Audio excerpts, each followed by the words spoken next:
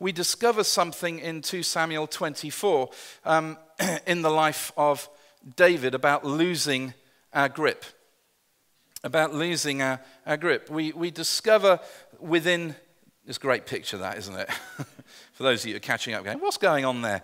Um, David committed a sin in, in 2 Samuel 24 where he tried to take a census of the fighting men of Israel. Now, I've pondered this scripture for, for a while and I've wondered, well, why is it that God was so upset with this? And I think it's really to do with trying to say that some victories that God had brought, that David was somehow trying to attribute that to his own ability and man's strength. And so God was angry about this and said, You can't do this. And so what happens is that David, in that passage, is given um, choices about the kind of things that will outwork, the consequences that will outwork. And he's, um, God offers him, through a prophet, says that you can have seven years of famine. Well, seven years of famine would mean the death of some in Israel, but actually the wealthy would survive famine because they would have resources to buy in food. Um, then he can have, uh, or he could have three months of fleeing enemies. And uh, this would be the death of some in Israel, but mostly soldiers. And actually, um, you know, it would be terrible, but the royal family in David's household probably wouldn't be touched. And, and then he was offered three days of plague in your land. And that would be the death of some in Israel, but anyone could be struck by that, be them royalty or, or nobility or anything else. You see, the thing is that um, he has tough decisions to make. He has decisions that will take him to a place where he has to, where God's looking at his heart and having to decide whether David is still fit to be king. And David chooses this idea of saying, Well, I'm going to have the plague, because what he realizes is this that sin in the camp affects everybody. It's, it's not an isolated thing. And actually, we discover that as a New Testament principle that in 1 Corinthians 12 26, when one part of the body suffers, every part suffers.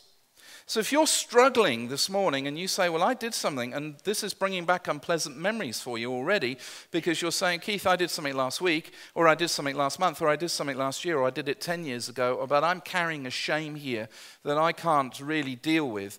And you're now saying to me that I can deal with it. But let me tell you something.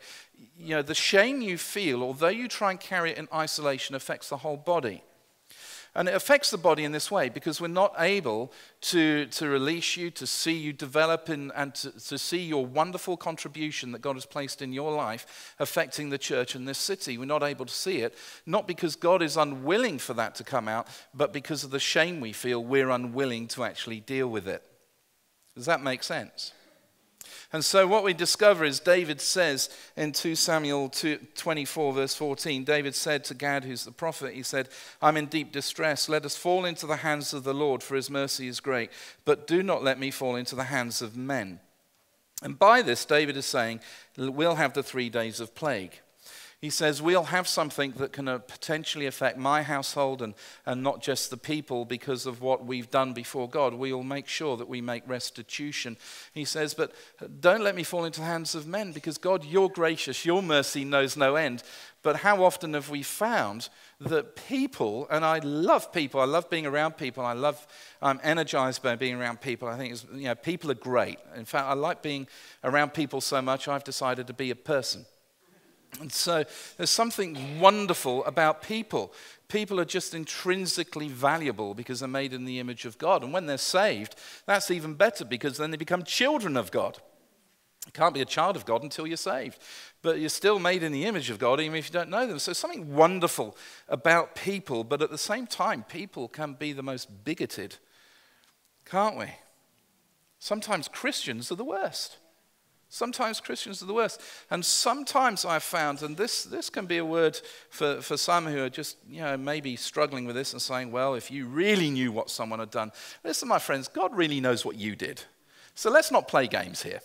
If, you know, if you know what I'd really done in my life, you wouldn't want to listen to my sermons. Yeah, don't congratulate yourself too much. If I'd known what you had done in your life, I wouldn't want to preach them to you.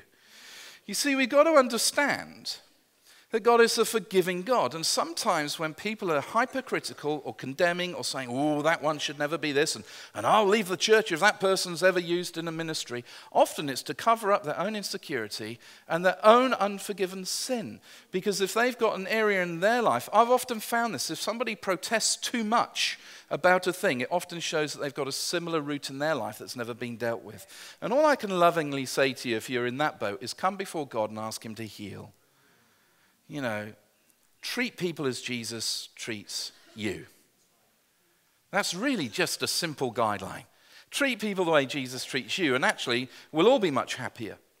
But if you're sitting there this morning and say, I've got this shame in my life, I want you to know this morning that as we talk about regaining grip as we talk through and say, you know, we want our ministry life tracks and all these things that we're starting in church and that are underway, and, and, and over a period of time we'll change the way we do church.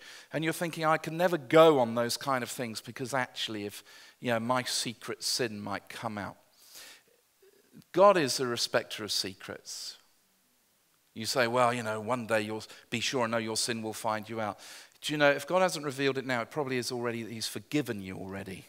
And the issue here isn't God's forgiveness, the issue is you forgiving yourself.